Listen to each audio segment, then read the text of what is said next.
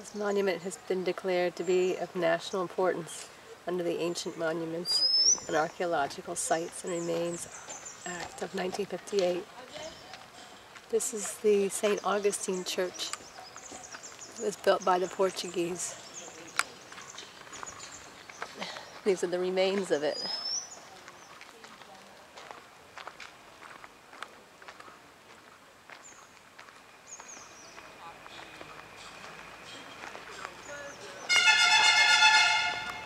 Left of it.